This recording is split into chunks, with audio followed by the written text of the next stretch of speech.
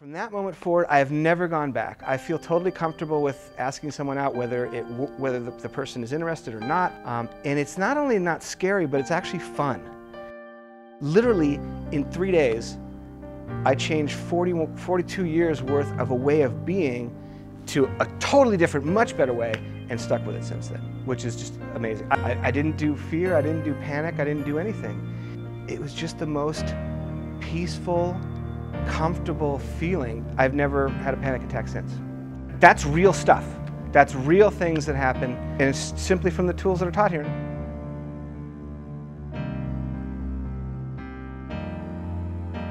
Before I came to the Option Institute, wow, there was a whole laundry list of things that I really would, would want to change with my life. The reality is that um, at that point in my life, I had been uh, having panic attacks and anxiety disorder for 19 years. I was on Xanax for my acute panic attacks.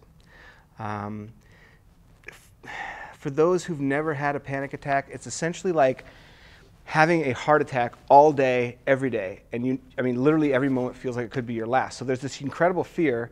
Um, and then, and you know, the, your heart is beating really fast and your adrenaline's pumping and the muscles are clenching up. And that was the way my life was for 19 years. Even with medication that, that worked, it was basically, that was where I lived. And it was not a fun place to be, let me tell you.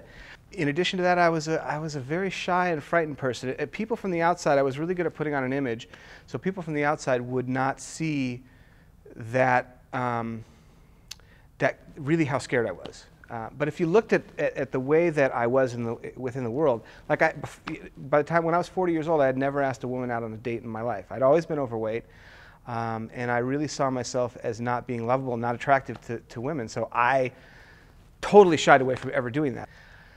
I had a crush on this woman. I, I really thought she was an amazing you know, gal in college. Um, her name was Candy, and she had basically all the things that I would be looking for in a soulmate. And I was utterly unable to tell her, ask her out, do any of those sorts of things.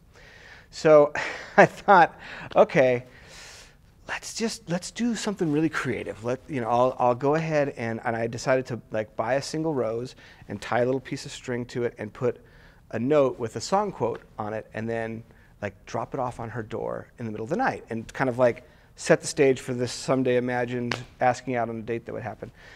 So the night that I had to do this, um, I got the rose, did the whole thing, and I literally sat frozen in my car outside the apartment complex at one o'clock in the morning. Okay, there's not a light on, there, you know, there's not a mouse stirring, there's nothing going on in this apartment complex, and I, so I would I would open the door, I would get partway to to her apartment, and then I would, you know, freeze up and come back to the car, and this happened like four times.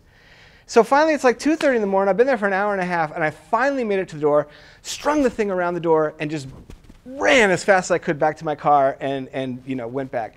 And it was such a traumatic experience, just that, just the fear involved in that, um, that I never continued with the whole process. So there ended up being only one rose.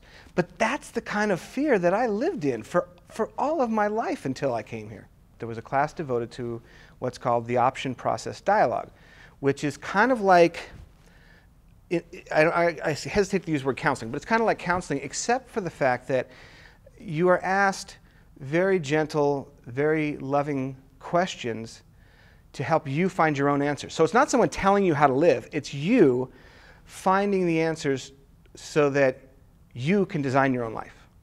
And that actually sticks much better than somebody else telling you how to live because they really don't know who you are um, at the core. And, and, you're the only one that really can tell you how, how you're going to live. So when you make that change yourself, it really sticks and it really alters your life in a profound way. So for me, the dialogue that I did um, during the Happiness Option program had to do with why the hell can't I ask someone out on a date if I like her? You know, uh, every other guy on the planet seems to be able to do this. Why can't I? And it took 15 minutes, and by the end of that time, I really had a handle on why I was doing it, why I was, why I was afraid to ask someone out.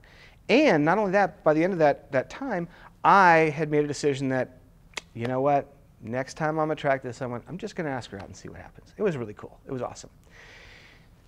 and the weirdest thing happened. From that moment forward, I have never gone back. I feel totally comfortable with asking someone out, whether, it, whether the, the person is interested or not, makes no difference.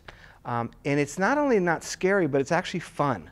Literally, in three days, I changed 40, 42 years worth of a way of being to a totally different, much better way, and stuck with it since then, which is just amazing. I could never possibly imagine that that was going to happen.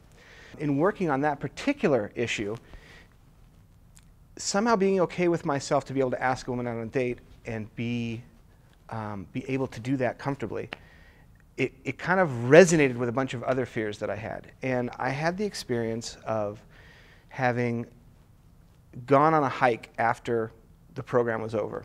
I took a hike up to the lookout. There's this gorgeous lookout that looks out over the whole valley. And while I was walking up the trail, I was thinking, you know, someone saw a bear somewhere in the, in the area vicinity recently, and I'm walking the trail alone, and, and I started thinking, what if a bear came along and just attacked me and started like, you know, this, this could be the end of my life. And it, it, for the past 19 years, any thought having to do with my own mortality would have triggered an intense panic attack. And the most amazing thing happened. Nothing happened. I, I didn't do fear, I didn't do panic, I didn't do anything. And it was just the most peaceful, comfortable feeling to not have that happen. I've never had a panic attack since. So from 19 years of having them every day to the last four years of never having another one is, I mean, I, that, that's real stuff. That's real things that happen. Uh, and there is, and it's simply from the tools that are taught here. And it's not rocket science. It's really easy stuff. So I am I'm definitely grateful for all of my time here. It's why I keep coming back because there's always something more for me to learn. There's always another level of comfort to go to, of fun to have in my life, and um, the relationships that I've that I build nowadays are, are by far the deepest, closest relationships, whether it's friends or family or you know a romantic love relationship. They're they're just by far they're way beyond anything I could have ever possibly imagined.